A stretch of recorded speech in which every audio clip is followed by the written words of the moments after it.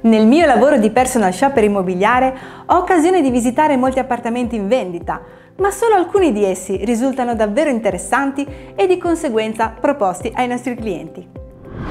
Ti piacerebbe accompagnarmi in una delle mie visite e valutare insieme a me i pro e i contro?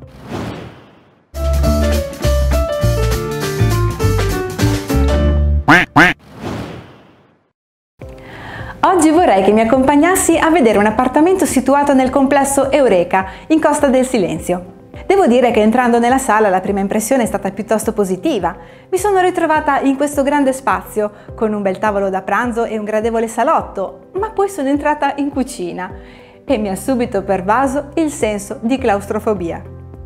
Era veramente piccola e con il soffitto basso e di certo il mobilio così scuro non aiutava a renderlo un luogo accogliente. Era stata ricavata in una specie di casetta in muratura edificata sulla superficie della terrazza e con accesso da un piccolo vano creato nel salone, vano dal quale faceva persino fatica a passare il frigorifero. Mi sono poi spostata nella camera da letto. In questo caso sono rimasta piacevolmente colpita dalle dimensioni della stanza, anche se era un po' troppo piena di mobili. In particolare non vedevo il senso di quella cassettiera messa di fianco all'armadio e che ne impediva l'apertura. Ma di questo parleremo più avanti. Il bagno, disordine a parte, aveva degli strani collegamenti idraulici ed elettrici, in parte a vista ed in parte con canaline malfatte di cui non si capivano bene l'origine e lo scopo. La terrazza era un insieme disordinato di mobiletti vari, coperture ombreggianti attaccate con le fascette, una staccionata in legno consumata dal tempo e mezza rotta e tantissimi oggetti posati un po' ovunque.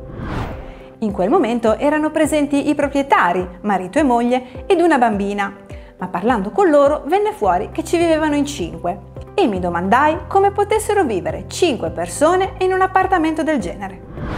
Cominciai pertanto a raccogliere informazioni dal vicinato e scoprì che un paio di anni prima i proprietari avevano aperto due vani nelle pareti, uno in camera da letto, dietro la misteriosa cassettiera di cui ti avevo parlato prima, ed uno dietro la doccia, ed avevano, udite udite, occupato l'appartamento a fianco. Beh, improvvisamente tutti i tasselli andarono al loro posto e cominciai a capire quale fosse la situazione che avevo di fronte e che la gestione della compravendita e la successiva ristrutturazione avrebbero potuto essere un po' impegnative per così dire. Tu lo avresti scelto per un investimento immobiliare? Mi farebbe davvero piacere se rispondessi a questa domanda lasciando un commento sotto a questo video. Per quello che mi riguarda, sì, assolutamente sì! E se sei curioso di sapere cosa l'ho reso per me così interessante, proviamo a ridare un'occhiata insieme alle foto che abbiamo appena visto e anche ad alcuni altri aspetti. Partiamo come sempre dall'ubicazione.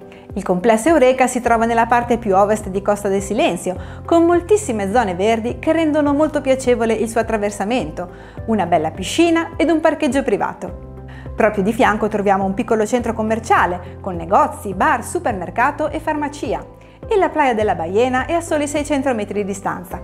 Inoltre è vicinissimo alla fermata dell'autobus, alla stazione dei taxi, al bellissimo parco della Garagnagna e ad un ipermercato. Insomma, c'è davvero tutto a portata di mano. Ma torniamo al nostro appartamento. Prima di tutto si sarebbe dovuta demolire la costruzione che racchiudeva la cucina claustrofobica, in modo da riportare la grande terrazza alle sue dimensioni originali e poterla sfruttare come meritava. Ovviamente la cucina andava rifatta nuova e posizionata nell'angolo dove si trovava il tavolo da pranzo. Nella camera da letto si doveva eliminare la controparete in legno posizionata dietro al letto e sostituire il mobilio con qualcosa di più moderno. Il bagno andava completamente rifatto, le pareti di tutta la casa erano da lisciare e imbiancare e porte infissi da sistemare. Ah già, dimenticavo, ovviamente andava anche sanata questa incredibile situazione di occupazione abusiva dell'appartamento concomitante, ricostruendo i muri laddove ora c'erano i buchi che servivano d'accesso illegale e si sarebbero dovute anche eliminare tutte le prolunghe elettriche ed idrauliche con cui si erano attivati abusivamente i servizi dell'altro immobile. Il risultato finale però sarebbe stato un appartamento luminoso e spazioso, perfetto sia per appartamenti turistici che residenziali. Il cliente si è ritrovato allineato con le mie considerazioni, ha deciso di comprare la proprietà e dopo il rogito ci ha incaricato di seguire i lavori di ristrutturazione e di occuparci dell'arredamento e delle decorazioni. Sei curioso di vedere come lo abbiamo trasformato? Come ti ho già detto in altri video, un appartamento messo a rendita deve suscitare emozioni e raccontare una storia, deve avere un tema, un nome, un luogo e una gamma di colori in armonia con il tema scelto. Ed in questo caso abbiamo deciso di chiamarlo Ibisco, per richiamare le aiuole e i giardini fioriti che si trovano nel complesso ed accostando al colore bianco le calde tonalità dell'arancio, che si sposavano perfettamente con il pavimento in cotto, con le finte travi in legno e con il rivestimento di pietra dietro al divano, donando così all'appartamento un'anima calda ed accogliente. Per la cucina abbiamo scelto mobili bianchi con il piano in legno, un piano cottura in vetroceramica, il forno ed un grande frigorifero congelatore. È stato posizionato un tavolo allungabile al centro della sala e creato un angolo relax con divano letto, tavolino e un bel mobile bianco con cornice in legno chiaro. La televisione montata su supporto orientabile può essere vista sia dal divano che dalla cucina e tutte le decorazioni richiamano il tema ibisco. Nella camera da letto è stato riverniciato il grande armadio a muro e tutte le pareti sono state trattate contro l'umidità e rivestite con pareti in cartongesso specifico. La testata del letto e i comodini richiamano gli stessi colori utilizzati nella zona giorno, creando una piacevole armonia generale. È stato messo un ventilatore a soffitto per aggiungere comfort nelle giornate più calde e non potevano mancare i richiami all'arancione e ai fiori tropicali. Il bagno ha richiesto un bel po' di lavoro, rifacendo completamente pavimento e rivestimenti, e guarda adesso come è bello luminoso e spazioso, con il pavimento in ceramica effetto legno, la doccia walk-in con il piatto doccia effetto mosaico, i mobiletti bianchi. E considera che abbiamo spostato qui anche la lavatrice, che originariamente si trovava in terrazza. Ma parliamo proprio della terrazza, che senza la casetta ha cambiato davvero aspetto con l'accogliente salottino nel quale gustare un caffè o leggere un libro, ascoltando gli uccellini cinguettare il tavolo per mangiare all'aperto ed il barbecue per prepararsi una succulenta grigliata. La copertura ombreggiante è stata ovviamente rifatta e dove prima c'era la casetta è stato creato un tappeto di ceramica in stile rustico che richiama lo stile del soggiorno.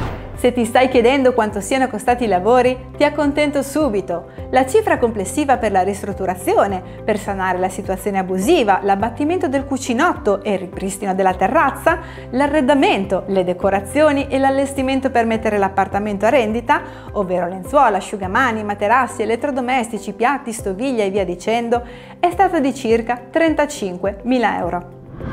La percentuale di occupazione dell'appartamento attualmente è del 90% e la redditività media è del 4,6%.